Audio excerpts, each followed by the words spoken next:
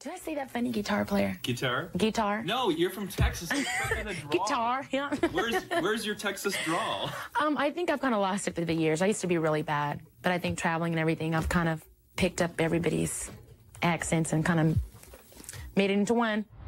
My father had this uh, really good job, and it was about 81. The economy went down. We went under. We had to file for bankruptcy. We lost everything. So that's how we got into the music as a profession. That was our way of putting bread and butter on the table. It's talking about a forbidden love. That's really neat. You know, whereas before it's like, uh, they don't even know I exist. Now they do. So it's really neat.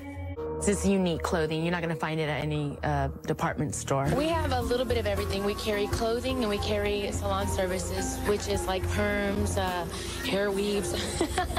I didn't think I'd had a chance because of all the top names that were in the category. Well, I think one, for instance, you know, Tejano music and, and music like salsa merengue, um, it has a lot of rhythm in it. It's really easy to dance to, listen to, and, and most of the songs are very commercial. And I think this is this is one of the main reasons that it's really growing. People are taking notice of it because of the fact that, that it is real danceable music. I thought for sure, I was like, okay, we're here. You know, I am I'm happy. I'm nervous. Um, we were really surprised, really, really surprised. And I was nervous, had butterflies in my stomach, and you name it, it was all there. Well, basically, Tex-Mex music is, it comes from the United States. Mexicans that were born here in the United, United States.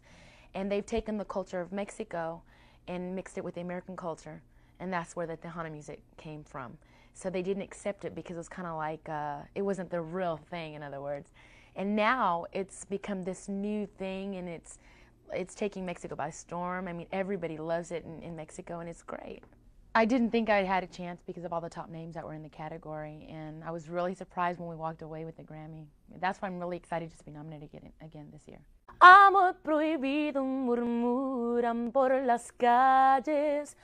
El padre de Selena Quintanilla anunció en una entrevista para el podcast de José Rosario de Latin Groove News en Facebook que lanzará un nuevo álbum después de 25 And in Corpus, uh, well, in Texas, where I live, the humidity is so bad. I mean, the minute you step out of your house, like. How how many people do you bring in for a show? Well, it depends what venue that we're playing in. Uh, we played for crowds of 96,000. We've broken the record twice in a row at the Alamo, um, I'm sorry, the Houston Astrodome for attendance record there for Hispanic Day at the uh, fair, uh, the rodeo. And it just actually depends on what place. You know, if it's a concert or a dance, there's a big difference. Mm-hmm. That's when did you know you wanted to be a performer? Because you started pretty early. Very young. I started singing when I was six and a half and recorded my first record when I was eight years old.